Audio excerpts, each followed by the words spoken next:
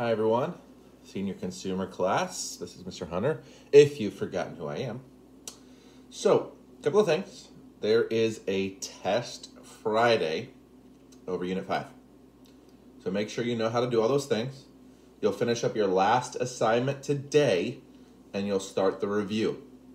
I'll make sure to post a video on block day of me going through the review, doing every problem.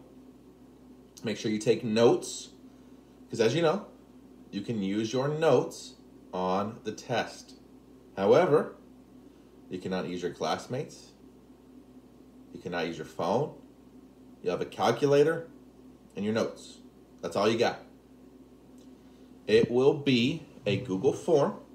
So make sure you're putting dollar signs. Make sure you have two decimals because we're talking about dollar amounts.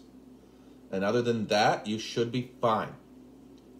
Now, uh, as far as homework and grades go, I'm updating everything next Friday. So anything you want to grade on is due next Friday before you leave for Thanksgiving break. I'll update everything. So don't be surprised if your grade changes quite a bit over break. I'm giving you this extra time to make sure you have your grade where you want it to be. Because again, I'm updating grades over Thanksgiving break. Now, the thing that I really want to talk to you guys today is about the things that I'm hearing are going on in class. To say I'm disappointed is an understatement. You guys know that in my class, I expect learning, respect to happen. To hear that at times things are so loud students can't get their work done is unacceptable. I have a few people in that class that I've asked to take notes for me so that I can turn it into administration. You are seniors. I should not have to have this discussion with you. You should know that even though I'm gone, learning still needs to happen.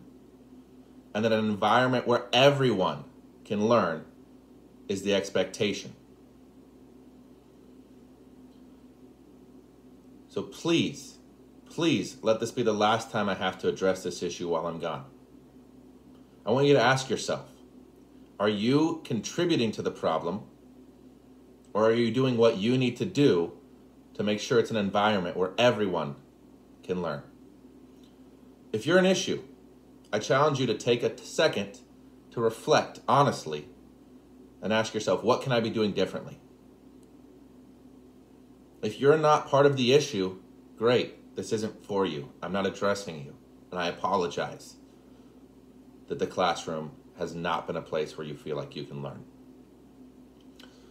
So, with that being said, I do miss you guys. I hope things are going well. Looks like a lot of you are getting your homework done. Looks like you did pretty good on the quiz.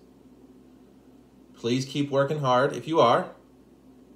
If you're not, please challenge yourself to do the things that I expect of you to be a good student, to be a good classmate. And get ready for that test on Friday. So until I see you guys again, good luck on your test Friday. I know you'll do great. You'll get one shot at it. So unlike the quiz the other day, one shot. That's it. One chance at the test. Make sure you're ready for it. Make sure you're prepared. Do the best you can. With that being said, miss you guys. Please do better or keep doing great. And I'll see you guys in a little bit.